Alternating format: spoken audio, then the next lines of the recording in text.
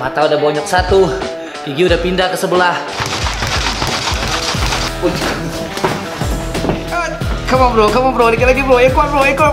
Hai sahabat Fit Life, seneng banget aku hari ini Anet Yuls barengan sama Marco, Ya, kita tim Fit Life hari ini kita seneng banget bisa nemenin kalian di video kali ini. Nah, kita lagi di mana nih, Marco? kita lagi di baku belah tempatnya Andika. Mamesa.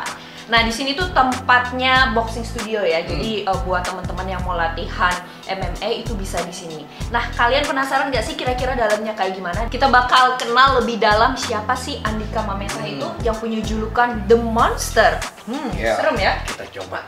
Kemampuannya gimana, Net? Apakah dia bener-bener The Monster? Let's go. Wah,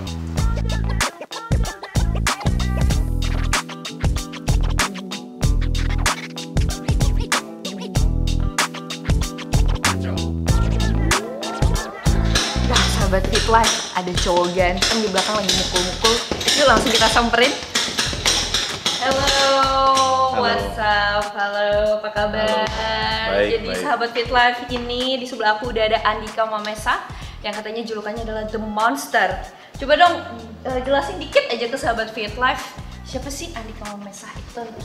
Eh, jadi saya itu pekerjaannya adalah seorang atlet mixed martial arts sekaligus juga saya punya gym namanya Baku Belah ini jadi gym Sasana Tinju lah lebih tepatnya kayak begitu. Nah, Ya, jadi sekarang kita udah di baku belah nih sahabat Fit Life.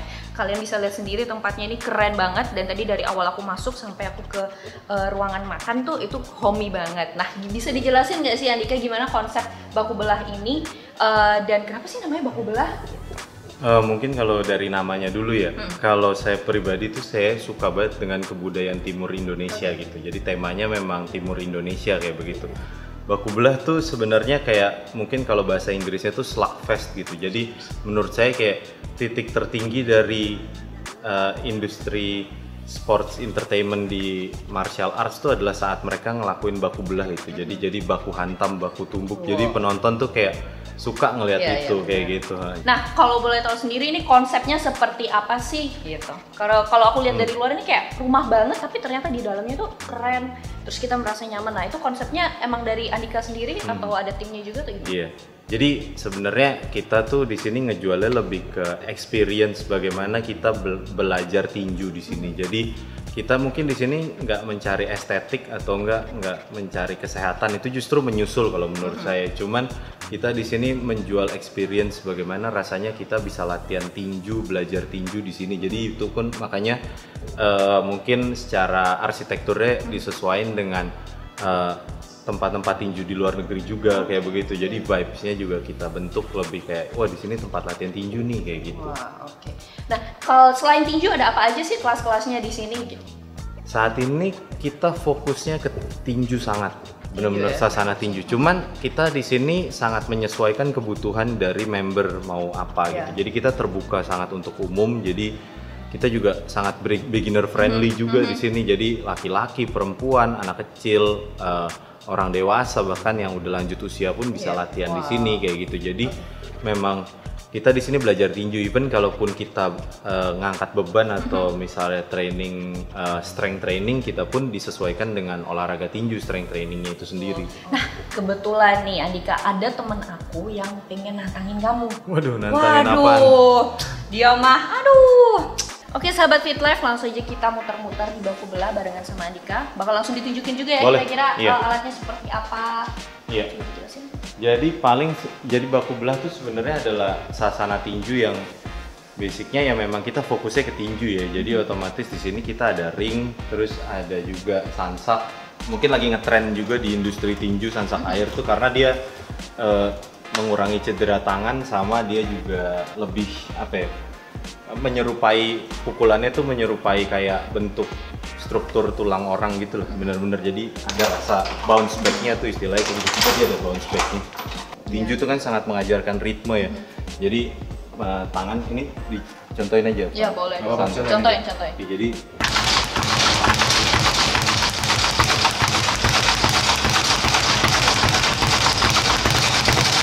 jadi ritme jadi ada bunyi dem dem dem. Jadi untuk melatih ritme dari otak kita jadi dan kecepatan tangan jadi pas dibalik pukul pukul balik jadi kayak gitu sih Boleh cobain diajarin dikit Boleh, gitu iya. sama Fit Life yang yang juga baru mulai gimana nih mulainya? Oke. So, jadi eh, kita mungkin mulai dari athletic stance saja kaki sejajar Oke. sama bahu. Pandangan utama selalu lihat ke depan karena kita tadi yang saya bilang belajar ritme. Jadi pertama dorong dulu pakai tangan, belajar hitungannya. Satu dua tiga, dorong lagi. Satu dua tiga tahan, satu dua tiga tahan. Ya itu ritme ya. Pukul. Nah iya. Nah kan dapat kan. Iya kayak gitu. Jadi abis ini ini ring sih kayak biasa kita pakai ini buat drill kayak uh, drill atau enggak sparring. Jadi emang ring tuh bisa membuat kita buat simulasi pas di atas uh, pas bertanding lah ya. Eh, kalau pengajarnya sendiri selain Andika atau ada teman lain juga yang ngajar? Kalau saya pribadi malah sebenarnya lebih ke atlet di sini dibanding jadi trainer ya. Kayak di sini kita sendiri memang udah ada trainer dan trainernya memang basicnya punya background yang memang udah lama di industri tinju lah dan mereka paham juga terhadap tinju dan mereka udah terbukti di atas ring juga lah. Jadi memang mungkin kita jadi memang kita pilih pelatih-pelatih yang memang ngerti cara mengajar dan punya background eh, bertinju juga jadi paham di industri ini juga. Oke. Aduh, kayaknya udah kelamaan ngomong nih sahabat Fit Life. Aku pengen langsung dong diajarin sama Andika boleh? Boleh. Ayo. Aku diajarin apa nih hari ini? Eh, pertama boxing ya otomatis kita harus belajar. Boxing tuh basicnya ada tiga hal. Yang pertama tuh kombinasi pukulan, gerakan badan sama gerakan kaki. Mungkin kita belajar pertama yang paling dasarnya itu stance dulu. Jadi bentuk kuda-kuda lah. Iya. Kalau di bela diri disebut kuda-kuda. Nah, kita Oke, siap. Sambil jelasin langsung kita aja praktek. Yuk.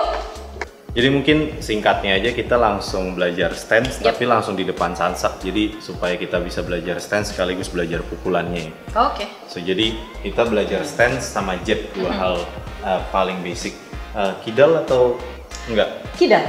Oh kidal. Kidal, ya. Kalau Tapi kidal berat- okay. Coba kita berarti coba aja. kalau kidal istilahnya southpaw di di tinju. Jadi uh, berarti kaki kanan berarti kaki kanan di depan, Yap. kaki kiri di belakang. Yap. Jadi tangan yang kuat selalu ditaruh di belakang. Oke. Oke, Oh. ini, ini udah lumayan ada stance Jadi tangan yang ini, Ini. selalu melindungi dagu. Oke. Tangan ini ngelit di depan. Begini. Oke, maaf. ya. Jadi ini lebih di dagu. Oke. Nah, gitu. Jadi pukulan pertama jab. Jab itu gerakannya pertama kita harus tahu titiknya dulu. Yep. Kita mau jab ke mana? Arahin kedua jari ini, pukul, terus tarik, langsung balik. Oke, terus Stop. ditambah hen- hentakan kaki sama dorongan pinggang. Jadi balik. Dan jangan lupa buang nafas pas ngelakuin pukulan ini. Pas ninju buang ya. Oke, oke. Udah pernah latihan lah ya sebelumnya. Dikit-dikit lah. Lumayan. Jangan jangan Dekat. terlalu maju, tapi kita harus jaga jarak. Jadi impactnya tuh ada di ujung. Nah, iya. Jadi pas Mhm. Oke. maaf ya, jadi pas rotasi badannya. Nah, ini dia. Dan agak bongkok ke depan. Nah, iya. Jadi Nah, kalau kayak aku kidal gini, terus habis gitu lawannya nggak kidal gimana dong? Lebih susah apa gimana? Eh, itu Ngimbangin mungkin enggak? seninya tinju sih. Jadi ketika lawan kita kidal berarti strateginya harus berbeda juga. Ah. iya. Iya, jadi kalau biasanya kalau lawan kita kidal kita harus Mm-hmm. lempar banyak pukulan kanan kayak begitu sih. Hmm. Jadi kira-kira basicnya Basic adalah seperti boxing itu. seperti itu ya. Oke, Iya. tuh pengalaman yang luar biasa banget guys. Aku diajari sama Adika hari ini dan hmm kayaknya temen gue siapa sih si Marco ya? Yang dari tadi dari awal bilangnya mau ngelawan mana tuh? Marco, lu di mana sih?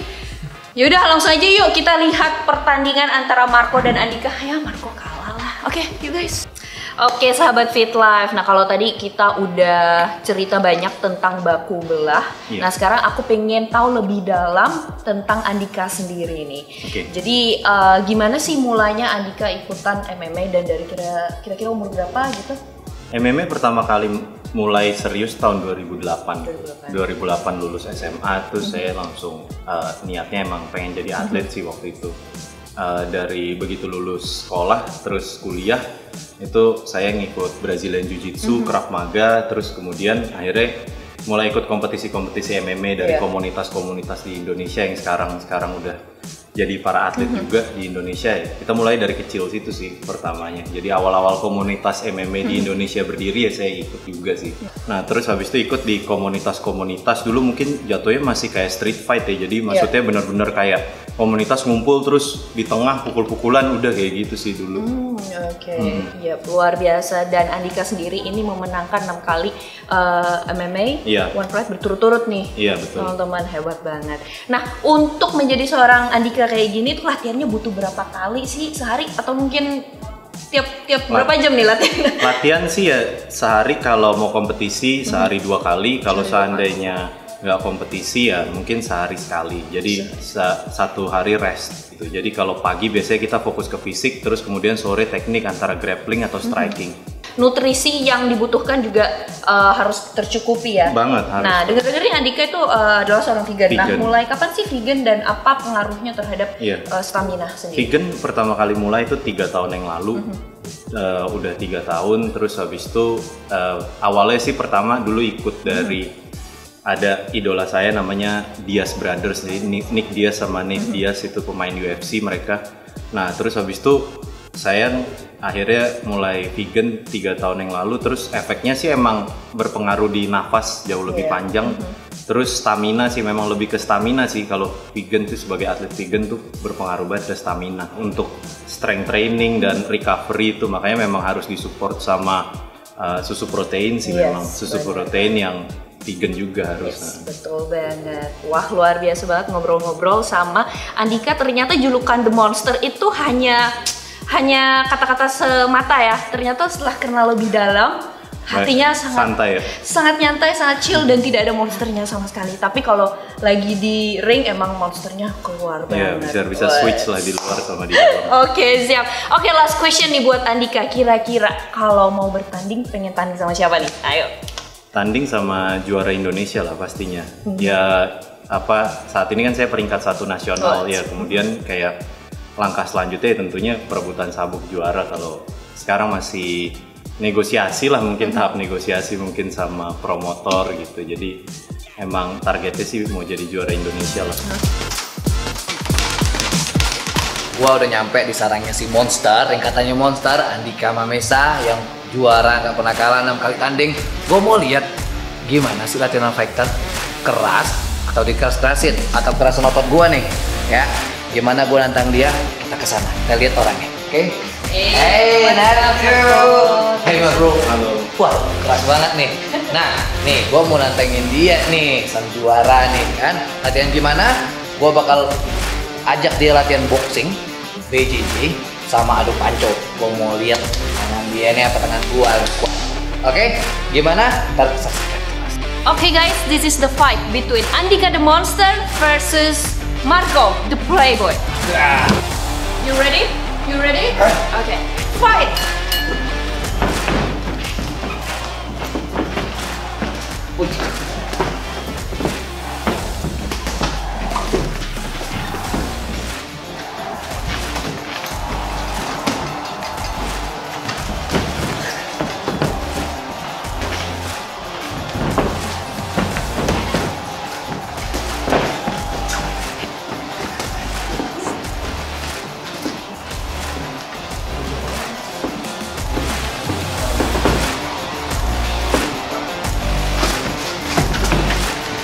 Udah, udah bonyok saya. Gue nyerah deh. Kayaknya kalah sama dia deh. Mata udah bonyok satu, gigi udah pindah ke sebelah. Tapi nggak takut. Abis ini BJJ nih yang lipit-lipitan, gue jago biasanya. Nah, yang kita tahu kan nih, si monster ini nih jago yang namanya BJJ situ kan. Nah, gue mau coba nih, gue mau tes kekuatan gue. Tadi gue udah kalah satu ronde nih, ronde ini gak mungkin kalah gue. Oke, nah kita coba lagi. Lu jangan kasih gue ampun ya. Oke, yuk.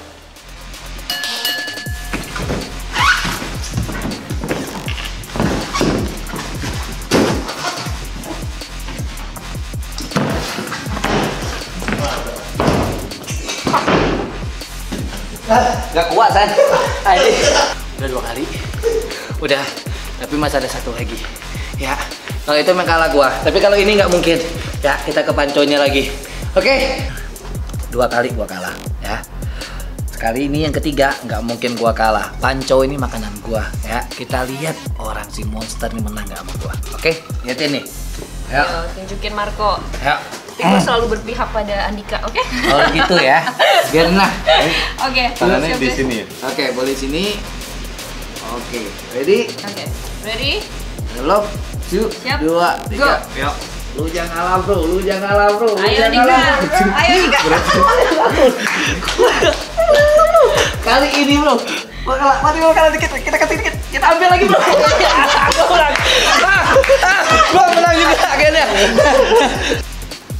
let's go. One, two, three. Eh bro, come on bro, come on bro. Oke, Lagi go lagi, Marco, go Marco. Aduh bro, come on bro. Ayo bro, lagi bro, ayo bro, Ayo, ayo bro. ayo. Udah belum? Ayo. Ya. Wow, wow, hey. Akhirnya ya, gua menang juga ya. Two point for Marco. Aduh. No point for Andika. Tahu nih ada teknik-tekniknya nih Panco kayak gini nih. Oke, this is the third round. Ini adalah last round. Oke, switch. Ya. Ya, two, Three. eh, come on bro, come on bro, dikit lagi bro, kuat bro, yang kuat. bro.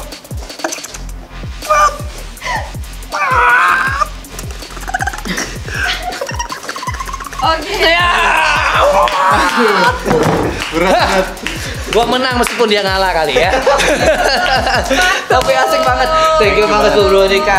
Aduh, gua bakal belajar banget sama si monster ini. Banyak banget yang lu bakal dapetin. Gila.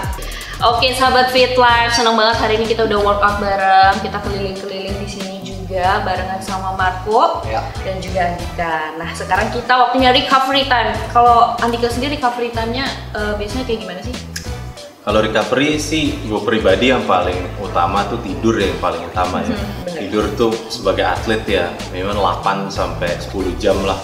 Terus kemudian eh, massage dan apa water apa sih uh, water ice gitu yang kayak berendam air es itu juga penting. Jadi recovery itu sangat penting lah dan paling utama juga nutrisi. Nutrisi, Jadi iya. nutrisi protein karena kalau gue pribadi kan vegan kan. Jadi untuk dapat nutrisi protein dari vegan tuh otomatis harus ada tambahan lah dari uh, susu protein gitu yang vegan. Jadi Jadi kalau- makanya Fit Life tuh ada yang gue dapetnya yang vegan nah, Oke. bener-bener yang vegan. Kalau Marco sendiri? Kalau kita orang bodybuilding juga recovery-nya bagus karena makanya kita perlu protein yang cepat serap tubuh. Makanya kita perlu pakai whey protein kayak ini dari Fit Life kan dalamnya banyak nutrisi-nutrisi yang bisa bantu buat recovery muscle jauh lebih cepat. Tumbuhannya juga. Jadi pastinya nggak cuma tidur aja istirahat, tapi nutrisi yang cukup dari makanan dan Betul. juga whey protein dari Fit Life. Oke. Iya. Nggak terasa ini udah di akhir video kita hari ini. Kita mau pamit dulu. Aku Annette Yuls. Marco, Andika Mamesa Be fit with, with Fit Fit Life. Life.